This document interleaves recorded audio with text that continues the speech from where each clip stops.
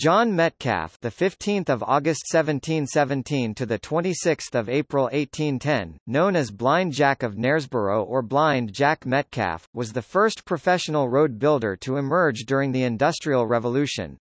Blind from the age of six, Metcalf had an eventful life, which was documented by his own account just before his death. He was an accomplished diver, swimmer, card player and fiddler, but was better known for the period between 1765 and 1792 when he built about 180 miles 290 kilometers of turnpike road, mainly in the north of England and as such, he became known as one of the fathers of the modern road. His work on the roads in the north has been commemorated in a pub named after him, a statue in Knaresborough town centre and part of the A658 in Harrogate being named John Metcalf Way.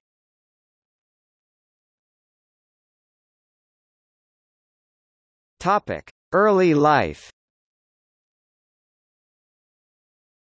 Metcalf was born into a poor family in Knaresborough in Yorkshire, England on 15 August 1717. His father was a horse breeder. At the age of six John lost his sight after a smallpox infection. He was given fiddle lessons as a way of making provision for him to earn a living later in life.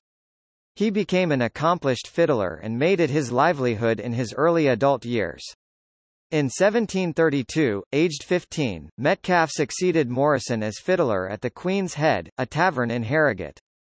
Morrison had played there for 70 years. Metcalf had an affinity for horses and added to his living with horse trading. Though blind, he took up swimming and diving, fighting cocks, playing cards, riding and even hunting. He knew his local area so well he was paid to work as a guide to visitors. In 1739 Metcalf befriended Dorothy Benson, the daughter of the landlord of the Granby Inn in Harrogate. When aged 21 he made another woman pregnant, Dorothy begged him not to marry her and Jack fled.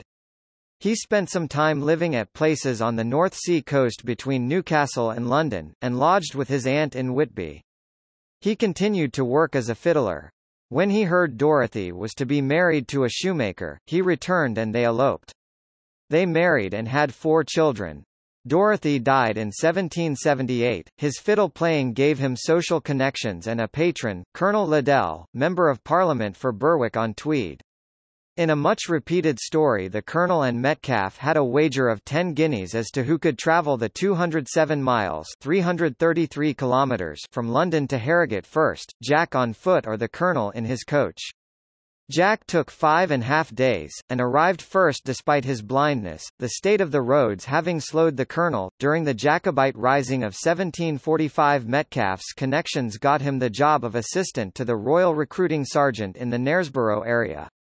He accompanied the army to Scotland where he did not experience action but was employed moving guns over boggy ground. He was captured but released. He used his Scottish experience to import Aberdeen stockings to England.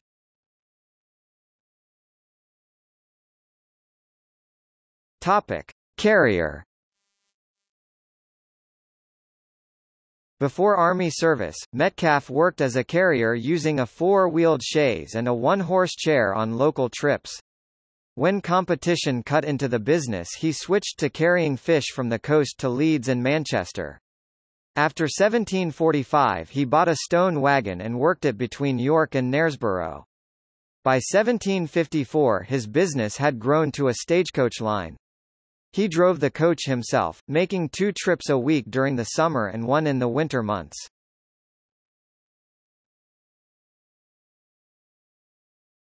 Topic: Road builder. In 1765 Parliament passed an act authorising turnpike trusts to build toll roads in the Knaresborough area. There were few people with road building experience and Metcalf seized the opportunity, building on his practical experience as a carrier. He won a contract to build a 3-mile section of road between Minskip and Ferrensby on the road from Harrogate to Boroughbridge. He explored the section of countryside alone and worked out the most practical route.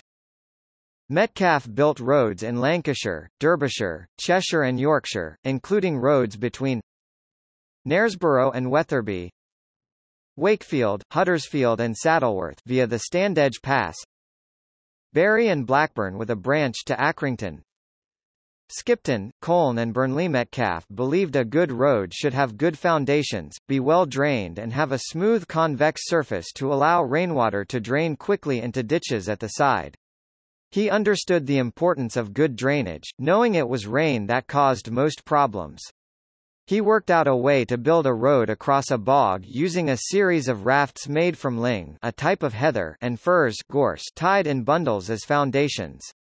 It established his reputation as a road builder because other engineers believed it could not be done. He mastered his trade with his own method of calculating costs and materials, which he could never explain to others and he became known as one of the fathers of the modern road along with Thomas Telford and John McAdam.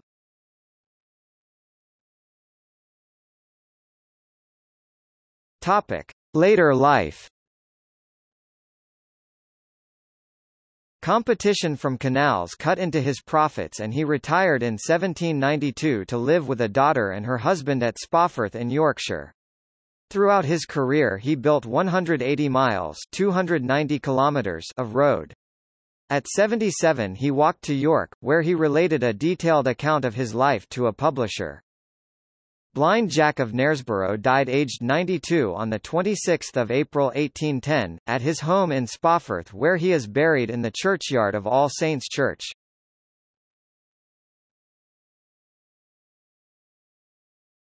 Topic. Memorials A statue of John Metcalf has been placed in the Market Square in Knaresborough, across from Blind Jack's pub, on 7 July 2017. The A658, the Harrogate Southern Bypass, was named John Metcalf Way.